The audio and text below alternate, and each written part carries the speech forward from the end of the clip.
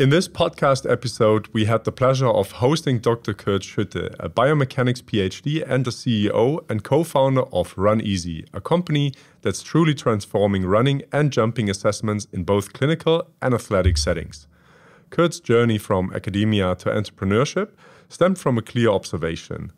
A significant gap existed between cutting edge biomechanics research and practical clinical application. He saw the need for affordable, evidence based biomechanical analysis that clinicians could actually use. The naked eye simply can't grasp the intricate forces involved, and basic video analysis falls short in revealing how a runner truly loads, responds, or compensates. This realization sparked the creation of Runeasi, aiming to bring lab grade analysis directly to physiotherapists, whether they are working on a treadmill or out on the trails. Kurt told us that Runeasi's bold mission is to empower clinicians and coaches with data driven insights to reduce injury risk and enhance performance, striving to make this the industry standard within three years. Kurt emphasized the challenge clinicians face in keeping pace with expanding research. While studies focus on populations, a clinician always deals with an individual in front of them. Here, Runeasi's actionable data helps bridge the gap, moving beyond what Kurt calls eyeballing diagnostics to provide precise, individual specific information that supports clinical reasoning without requiring a specialized PhD for interpretation. When talking about the core of Runeasi's technology, Kurt described it as an IMU, or inertial measurement unit, device attached to the sacrum near the body center of mass. Its algorithms meticulously break down every stride into key metrics related to load, stability, and symmetry. Kurt described it as effectively merging a force plate and a motion capture system into a sleek sports belt with the true innovation lying in the data it generates for personalized exercise prescription. Ensuring the highest accuracy, Kurt explained their meticulous validation process.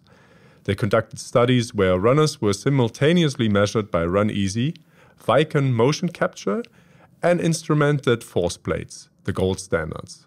This allowed for direct comparison with ground truth data. Despite initial algorithms challenges, Continuous refinement, especially in how they attach the sensor to the body, led to Runeasi achieving results within 1 to 3 percentage points of the gold standard on key metrics, a level deemed highly reliable for clinical use. Runeasi focuses on three core force related metrics impact loading, which measures peak sacral acceleration, indicating how hard and fast impact shock travels through the legs. High values often suggest a strength or capacity deficit in a lower limb shock absorption, while quick impact shock traveling times point to a need for plyometric training.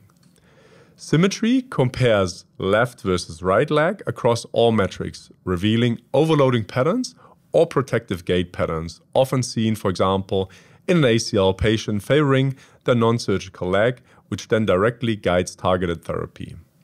Lastly, dynamic stability assesses side to side hip control and mediolateral energy leakage, with high pelvic instability often indicating poor hip or lumbopelvic control. These metrics help clinicians quickly identify dominant compensations, assess load tolerance, and precisely tailor interventions like cadence adjustments, strength training, plyometrics, or stability work. Currently, Runeasi is adopted by cash based physios, dual role coaches, and university physiotherapists. While initially popular with runners, its application has expanded to team and multidirectional sports athletes, particularly in the crucial return to play phase post injury. It serves both everyday athletes and elites. Kurt noted that even seemingly graceful top performers might reveal subtle asymmetries or deficits through Runeasi, indicating compensation patterns that warrant preventative attention. Kurt described that a typical Runeasi test session is designed for plug and play simplicity. Patients wear the sports belt, it connects to an iPad, and they start running. A quick one minute analysis can already provide initial clues. Clinicians can offer real time biofeedback during the test or review a comprehensive PDF report afterward. This report explaining scores, strong points, and weaknesses, along with recommendations, significantly fosters patients' buy in and motivation, much like seeing tangible progress with a dynamometer.